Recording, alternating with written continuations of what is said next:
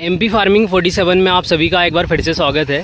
तो आज हम हमारे प्लाट में हर्बिसाइड का स्प्रे करा रहे हैं। तो कुछ इस तरीके से हमारा हर्बिसाइड डलता है।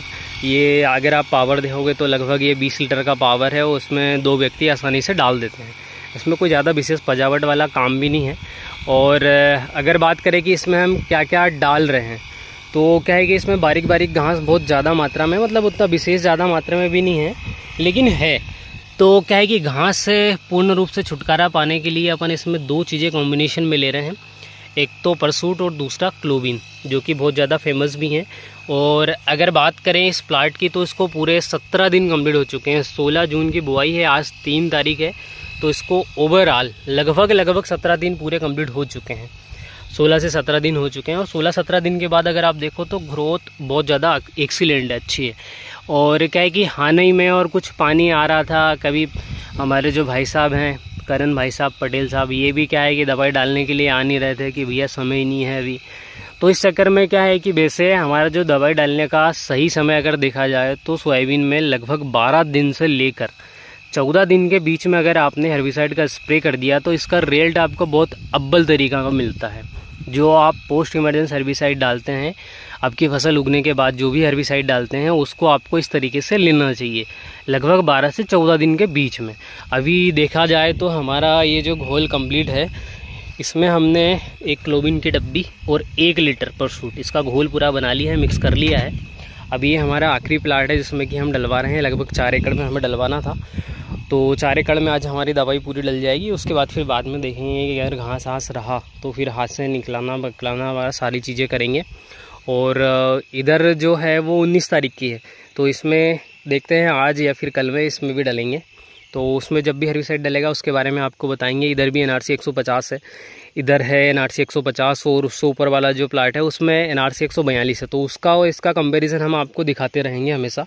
और उसके साथ कई क्या है कि कई किसान ये पूछते हैं कि हमारी फ़सल को झटका ना लगे। जैसे पंद्रह दिन के बाद अगर हम डाल रहे हैं, कई किसान ये करते हैं कि पच्चीस दिनों के बाद भी डालते रहते हैं। तो पच्चीस दिनों के बाद अगर आप हर्बिसाइड डाल रहे हैं क्लोबिन ऊपर सूट तो इसको ना ही डालें तो ही अच्छा है। लगभग सत्रह दिन, मेरे हिसाब से सत्रह अठारह दिन लास्ट है, आखिरी है। इसके बाद हर्बिसाइड का इस्तेमाल नहीं करना चाहिए। अभी क्या है कि फ़सल को झटका ना लगे, इसलिए हम फुलविक एसिड और हुमिक एसिड दोनों का कॉम्बिनेशन ले रहे हैं। और इसके कॉम्बिनेशन से क्या है कि ये जो श्री सिद्धि का प्रोडक्ट है वैसे ये जो प्रोडक्ट आते हैं, वो काफ़ी ज़्यादा एक्सलेंट आते हैं। इनका हमेशा रिज़ल्ट हमको मिलता है। क्योंकि मिर्च में भी इसके जो खाद यूज़ किए थे, बाकी जो खाद यूज़ किए थे, उसमें बहुत ज़्यादा फ़र्क है। अगर श्री सिद्धि का प्रोडक्ट हमेशा आप यूज़ करोगे तो इसमें आपको ओरिजिनलिटी दिखती है। थोड़ा सा महँगा ज़रूर आता है, लेकिन अच्छा प्रोडक्ट है। इसके साथ कई किसानों का एक क्वेश्चन रहता है कि क्या हम हर्बीसाइड के साथ में इंसेक्टिसाइड को मिला सकते हैं?